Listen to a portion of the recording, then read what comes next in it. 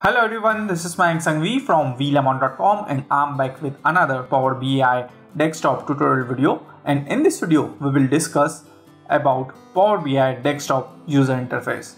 For this video we are going to refer to this blog post. Blog post URL is available in the description of this video or you can click on this notification icon. Now let's first check how to launch Power BI desktop. For Windows 10 user you need to click on start and this is all available application in my system. I want to narrow down my search so that's why I'm going to click on any of this uh, letter so I'm going to click on letters and this is all the available letters. And now I'm going to click on P P for Power BI I'm going to click on P and this is our Power BI desktop. Click on this shortcut to launch Power BI desktop. If you want to create a shortcut you can right click on this and then you can select pin to taskbar. If you are going to click on this one this is a new shortcut is created on our taskbar. Okay? If you want to create a if you want to pin this shortcut on this start then you can click on this one. Our shortcut is created on start menu. Okay so this is how you can launch Power BI desktop on Windows 10 for Windows 8 user, let me open my Windows 8 machine. For personal, group or online training, contact us.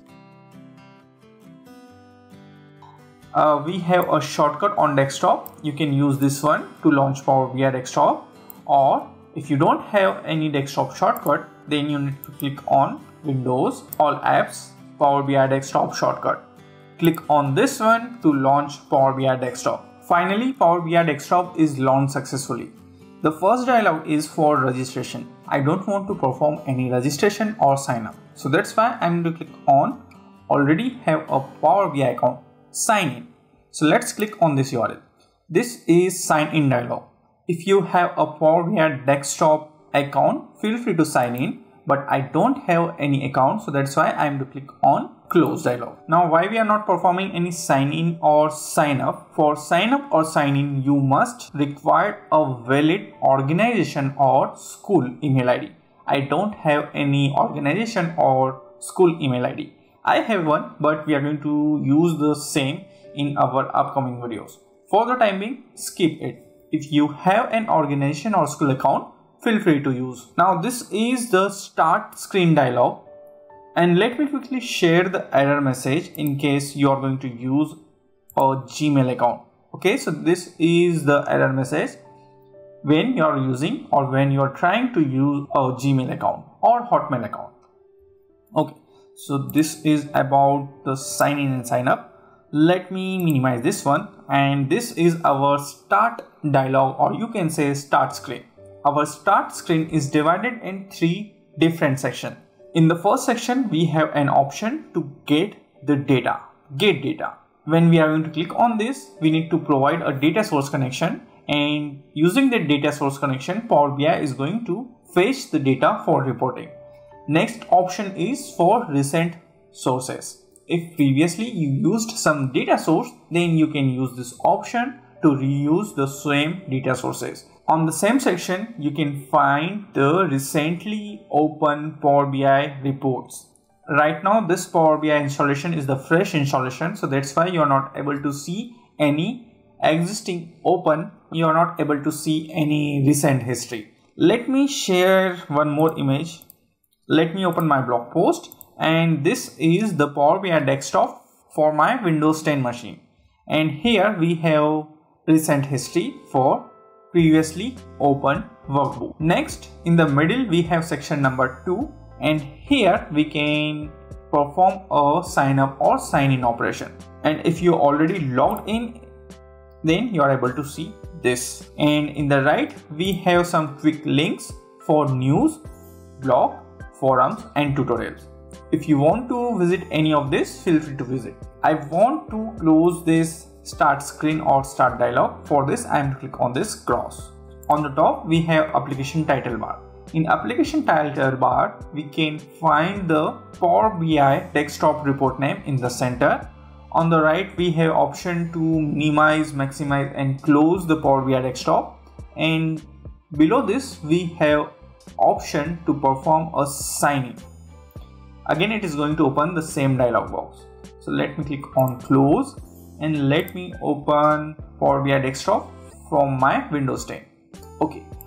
On the left, we have quick option to perform a save, undo and redo.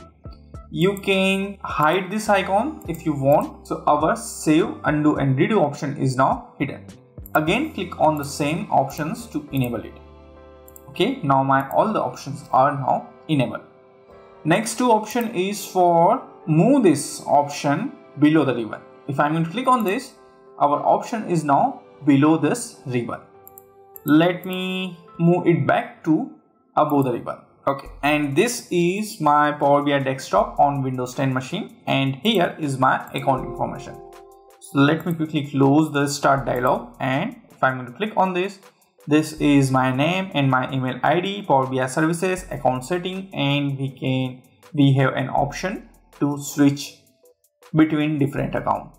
Let's discuss about different types of ribbons available in Power BI desktop. The first ribbon is the home ribbon.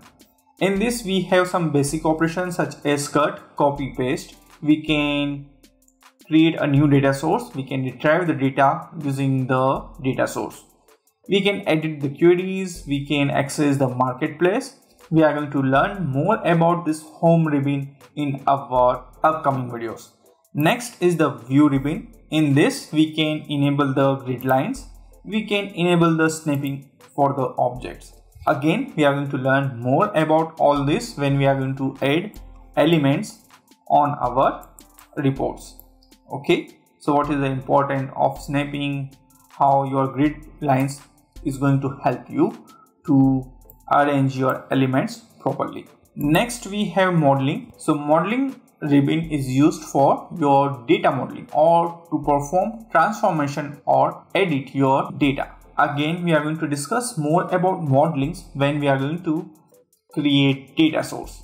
Next is the help ribbon. Under help ribbon you can find quick links for video tutorials, blogs and others. Again we are going to explore more about help ribbon in our upcoming videos.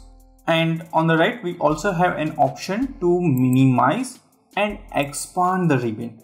Okay, if you want more work area then you can minimize the ribbon from here. And if you want to expand the ribbon you can again click on this one.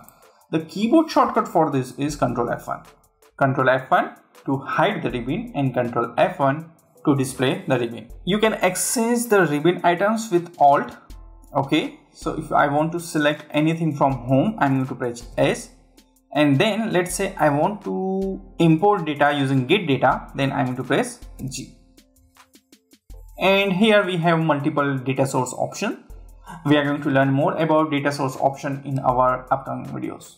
When our, when we selected any visual element two more ribbons are active by default these two ribbons are hidden so let me delete this and now our those two ribbons are gone those two ribbons are for formatting your visual element and to control the drill and drill down operation. We are going to learn more about formatting and drill up and drill down in our upcoming videos.